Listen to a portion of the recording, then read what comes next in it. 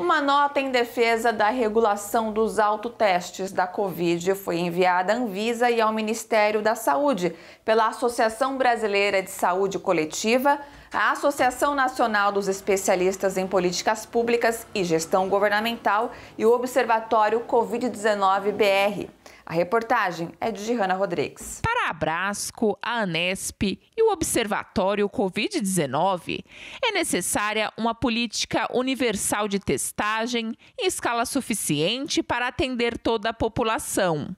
Por isso, as entidades defendem a regulação da aplicação dos autotestes por pessoas leigas e que o Ministério da Saúde faça a aquisição e distribua os kits.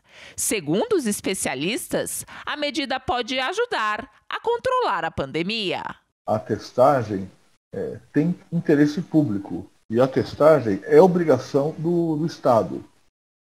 Então, quanto a isso, a gente estranha muito é uma postura do Ministério da Saúde que agora até admite o autoteste, fala que vai solicitar ou já solicitou a Anvisa a análise dos autotestes para aprovação, entretanto não fala em oferecer o autoteste de forma gratuita às pessoas. O aumento nos casos volta a preocupar os sindicatos, federações e confederações de trabalhadores.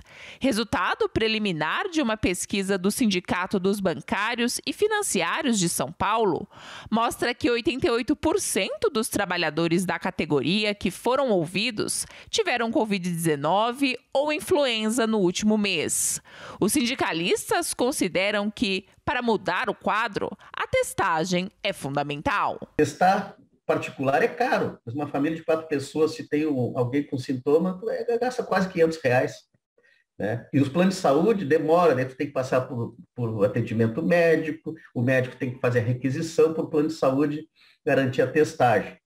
Né? Então, uh, para ela ter eficácia, tem que ser logo, tem o sintoma, já testa, tem que ter o resultado mais rápido possível para poder fazer as medidas de isolamento, né, de contenção da, da, da, né, da proliferação do vírus. O vice-presidente da Abrasco lembra que os brasileiros já realizam autotestes exames para monitorar glicemia ou detectar gravidez e HIV.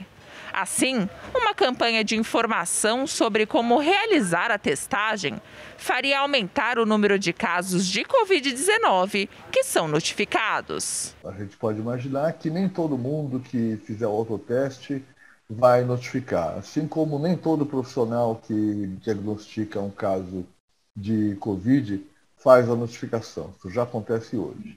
Agora, o, é, o que nós vivemos hoje é uma quantidade imensa de pessoas que não faz nenhum tipo de teste. Então, que nem sequer é diagnosticado, muito menos, muito menos notificado. O consenso é de que é preciso ver o autoteste como mais um mecanismo de prevenção. Os sindicalistas já discutem com o patronal a importância de voltar a adotar outras medidas de prevenção, como o home office e o isolamento.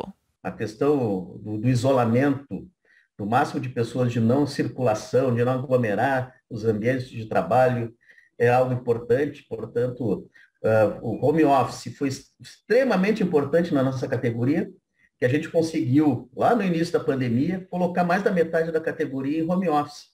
E foi extremamente eficaz, a gente tem dito salvou muitas vidas. Gente, bora fortalecer a TVT? É só clicar em inscrever-se e depois clicar no sininho. Pronto! Assim que pintar notícia nova, você fica sabendo no ato.